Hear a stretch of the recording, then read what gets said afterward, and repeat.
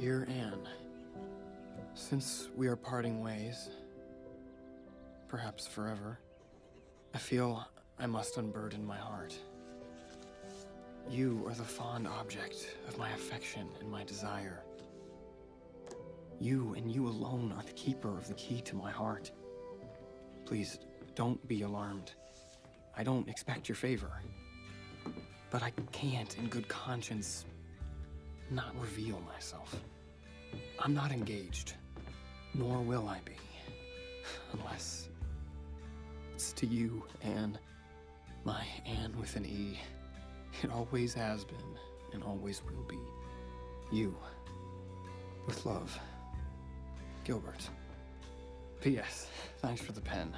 Good luck at Queen's.